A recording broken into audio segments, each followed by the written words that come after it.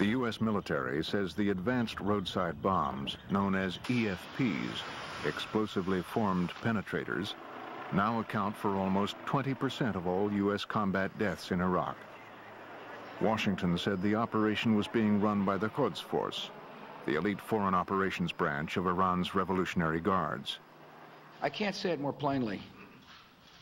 There are weapons in Iraq that are harming U.S. troops because of the Quds Force.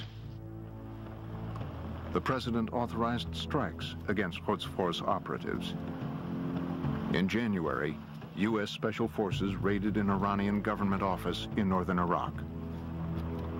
The United States was trying to send a strong message. We know you're operating here. We're going to go after your agents. It was looking for the Deputy National Security Advisor and another senior Revolutionary Guard official. The two of them escaped, and instead the United States got five mid-level Revolutionary Guard uh, and Iranian operatives.